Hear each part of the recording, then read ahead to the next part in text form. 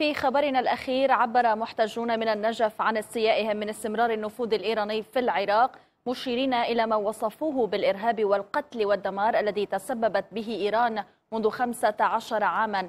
وقال محتجون لأخبار الآن أن الجهات السياسية المدعومة من قبل إيران تعتدي بالضرب على المحتجين وتعاديهم. إيران هي تمدك من باب وتضدك من باب. هذا كله شيء واضح صار للعلن وشيء واضح كله للشباب وللشعب عامة.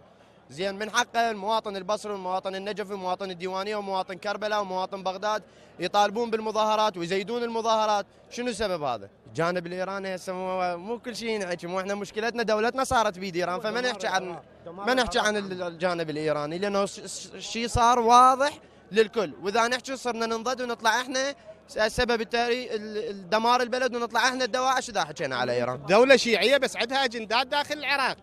أجنداتها هنا تدعمها تدعمها من أجل شنو؟ مو من أجل الشعب. من أجل مصلحتها أنه تثبت تثبت تثبت هاي الأجندات بداخل الحكومة العراقية وما يهمها هذا الشعب. يعني من من الشعب وصل إنه يقول إيران برا برا. مو عبط هذا الشيء لا. وإنما شاف ال ال ال الناس اللي دعمتها إيران أكثر ناس هي اللي أذت هذا الشعب.